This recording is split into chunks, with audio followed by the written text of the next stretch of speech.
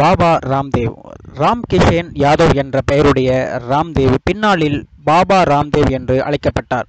கிழக்கு பஞ்சாபில் ஆயிரத்தி தொள்ளாயிரத்தி அறுபத்தி ஐந்தாம் ஆண்டு டிசம்பர் மாதம் இருபத்தி ஐந்தாம் தேதி ராம் நிவாஸ் யாதவ் மற்றும் குலாபோ தேவி என்பவர்களுக்கு மகனாக பிறந்தார்.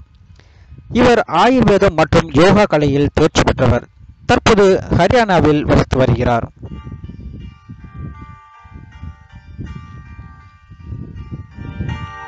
தனது இரண்டரை வயதிலிருந்தே யோகா மீது அதிகம் அதிக ஆர்வம் கொண்டிருந்தார் பாபா ராம்தேவ். இதனால் அப்போது குருகுலத்தில் யோகா கற்றுக்கொண்டே இந்திய இலக்கியம் மற்றும் சமஸ்கிருதத்தையும் கற்றுக்கொண்டார். ஆயிரத்தி தொள்ளாயிரத்தி எண்பதில் தனது குருகுலத்தில் பாலகிருஷ்ணா என்பவருடன் ஏற்பட்ட நட்பின் காரணமாக இருவரும் இணைபிரியா நண்பர்களாக மாறினர். இதுவே பின்னாளில் பதஞ்சலி உருவாக காரணமாயது.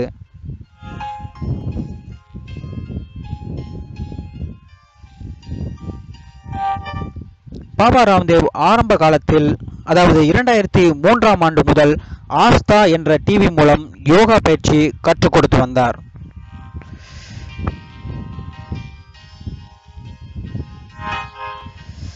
அதன் பிறகு அமிதாப் பச்சன் ஷில்பா ஷெட்டி போன்ற பாலிவுட் நடிகர்களுக்கு யோகா பயிற்சி கொடுத்து உலக அளவில் பிரபலமானார். அமெரிக்கா ஐரோப்பா ஜப்பான் என அனைத்து நாடுகளும் தெரியும் அளவில் தனது யோகா மூலம் பிரபலமானார்.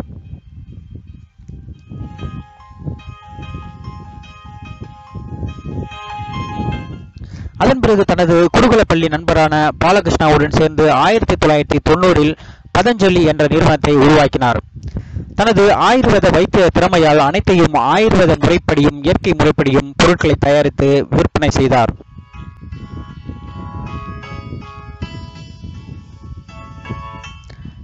அதன் பிறகு தீவிர அரசியலிலும் ஈடுபட்டார் பாபா ராம்தேவ். மோடி தலைமையிலான பாஜக கட்சிக்கு தனது ஆதரவையும் கொடுத்தார். ஆரம்பத்தில் சாதாரணமாக விற்பனை செய்யப்பட்ட பதஞ்சலி பொருட்கள் மோடியுடன் சேர்ந்த பிறகு விற்பனை சந்தையில் அசுர வளர்ச்சி அடைந்தது. எஃப்எம்ஜி எஃப்எம்சிஜி துறையில் குறைந்த காலத்தில் மிகப்பெரிய நிறுவனமாக பதஞ்சலி உருவெடுத்தது காரணம் பிரதமர் மோடி. கடைசியில் பதஞ்சலி விளம்பர தூதராகவே மாறினார் நம் பாரத பிரதமர் நரேந்திர மோடி.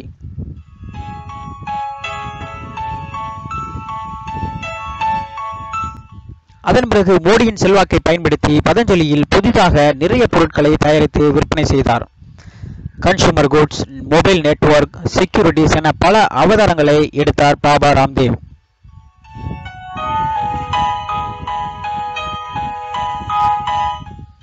இதனால் அடுத்து அவருடைய கவனம் மொபைல் உலகையை ஆட்டி படிக்கும் வாட்ஸ்அப்புக்கு மாறியது.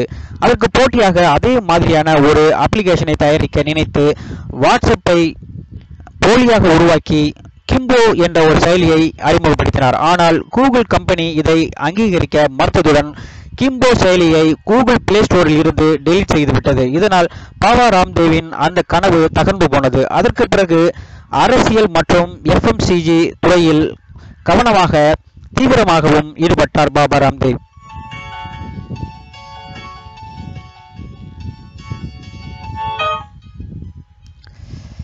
சென்ற வாரம் பாபா ராம்தேவை சந்திக்க பாஜக தலைவர் அமித்ஷா வந்திருந்தார். அதன் பிறகு செய்தியாளர்களிடம் பேசிய அமித்ஷா பாபா ராம்தேவின் ஆதரவை பெறவே வந்திருப்பதாகவும் தெரிவித்தார்.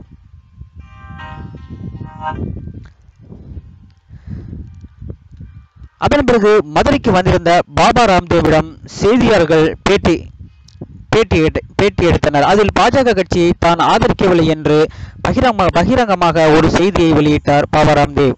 இதனால் அனைவருக்கும் சந்தேகம் ஏற்பட்டது.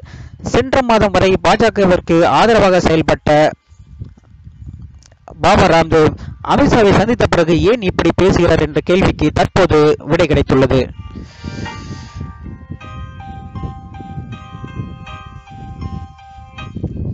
அதாவது சில மாதங்களாகவே பாஜக தலைவர்களில் பலர் ஜாதி மதம் சம்பந்தப்பட்ட பிரச்சனைகளை கிளப்புவதால் பாஜகவின் மீது மக்களுக்கு வெறுப்பு ஏற்பட்டுள்ளது. இது மட்டும் அல்லாது நாட்டின் வளர்ச்சி இவர்களுடைய ஆட்சியில் மிகவும் பாதிக்கப்பட்டுள்ளது. மேலும் பணக்கார பணக்காரர்களுக்கும் விஐபிகளுக்கும் சாதகமாகவும் பொதுமக்களுக்கும் விவசாயிகளுக்கும் பாதகமாகவும் செயல்படுகிறது. இதனால் நடந்து முடிந்த ஐந்து மாநில தேர்தல் தேர்தல்களில் பாஜக படுதோல்வி அடைந்தது. குறிப்பாக பாஜக கோட்டையான ராஜஸ்தான் மத்திய பிரதேசம் சத்தீஸ்கரில் படுதோல்வி அடைந்ததால் இனிமேல் பாஜக இந்தியாவில் ஆட்சி அமையாது என்று எண்ணிய பாபா ராம்தேவ் தனது முடிவை மாற்றிக்கொண்டதாக நம்பத்தகுந்த வட்டாரங்கள் தெரிவிக்கின்றன. தனது பதஞ்சலி வியாபாரத்திற்காக மோடியை சரியாக பயன்படுத்திய பிஸ்னஸ்மேன் பாபா ராம்தேவ்.